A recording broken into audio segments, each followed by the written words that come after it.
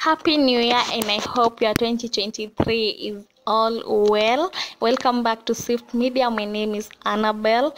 Make sure you subscribe, make sure you share, make sure you like, and make sure you leave a comment down below to share your thoughts and to share your reactions onto this moment story.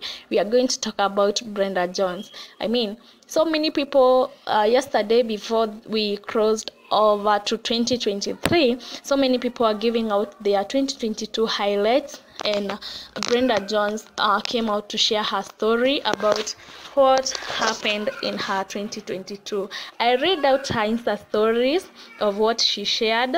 First she uh, she said she she was into alcoholism. We all know she posted that she's into homosexuality.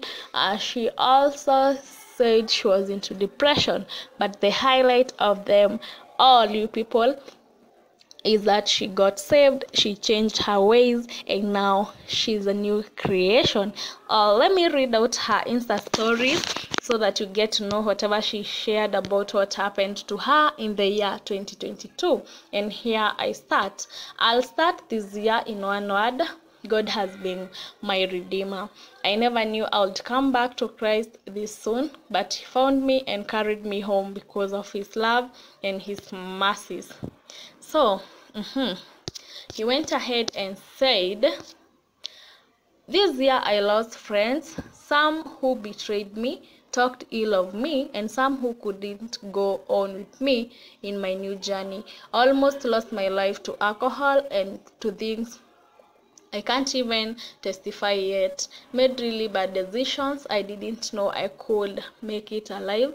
I never knew it was possible to come out on the other side alive. But God. Mm-hmm. On 7th of August, a long-time friend of mine and I reconnected, and she talked to me about Jesus and reminded me days I used to really serve God, and in my heart I knew it was time to come back home that same night i gave my life back to christ and i knew it wasn't going to be easy.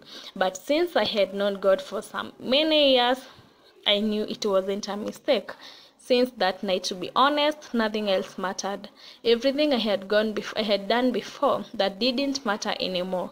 Jesus had really forgiven me. Like for real he had really set me free and he promised to never change his mind about me and i made a firm decision that i never want to depart from him ever again. Hmm.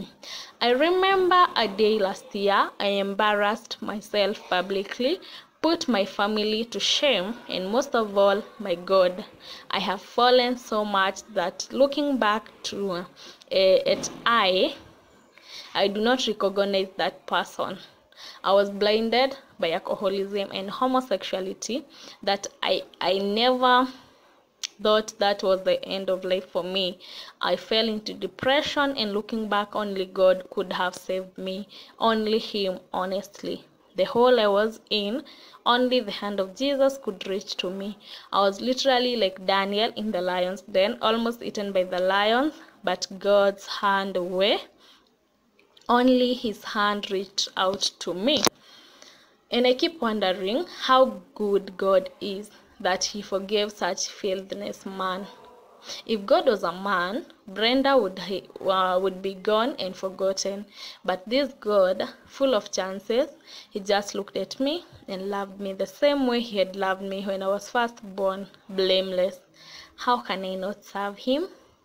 I have never heard things from people.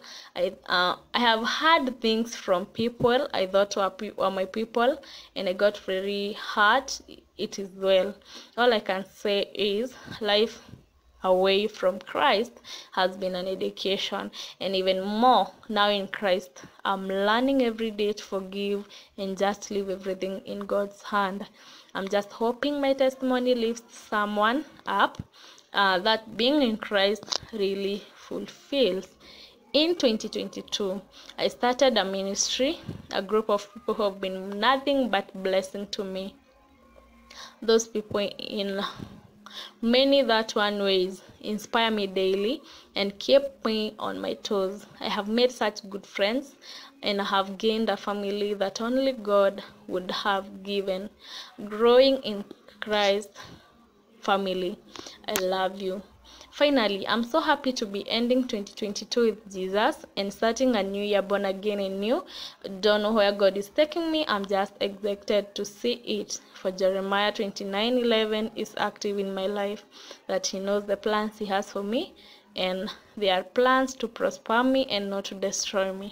I love you, Jesus. He ended by saying, So, I do hope that the little recap and testimony blesses your heart and encourages you. Uh-huh. And encourages you to simply accept Christ and rest in Him. Don't complicate it, just let Him to be the one to lead you. Stop leading God. He'll do the rest for you. So God has led me to start over as a new creation and to leave all I was behind and be His and His alone. I am exacted Are you? Hivyo ndivyo aliweza kumalizia post yake. It's clear she has uh, she ameongea kuhusu everything that she wanted to talk about that is depression, alcoholism, uh, friends betrayal and being born again that was the highlight that she's a changed creature she's a new creature she's ready to serve god and she is off to alcoholism off to homosexuality and off to all those bad things. What do you say congratulations to her and may god keep her may god guide her. Make sure you leave your comment